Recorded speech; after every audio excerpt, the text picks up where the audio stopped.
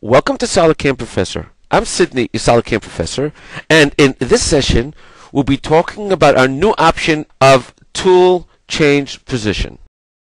We now have the capabilities of being able to control our tool change position within the operation itself. For example, if I were to open up this particular operation, we have here the option in Tool called Tool Change Position. Now, in Tool Change Position, we have two options, whether to do it as in the part settings, or I can define them here. Now, let's first take a look at the simulation as the part settings. As you see, the tool approaches from its tool change position, which is all the way out there according to the part tool change position.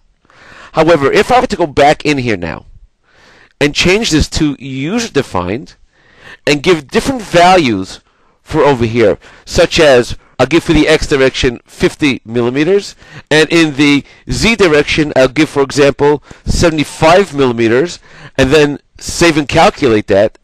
Now, if we take a look at our tool movement, you'll see that the tool now comes in from this section over here. In other words, I changed it to this value over here, and now it comes in from over here.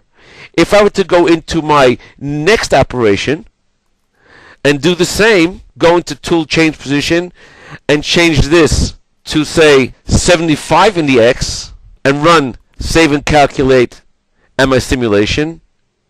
And this time I'll do the simulation on both operations. Now if I run just the first simulation for now, you'll see that it started over here, and then when it retracted, it went to this position, ready for the next operation. And then the next operation continues from this point on. So we have complete control now of our tool change position within the operation itself. Thank you for joining us on SolidCAM Professor. Take care and have a nice day.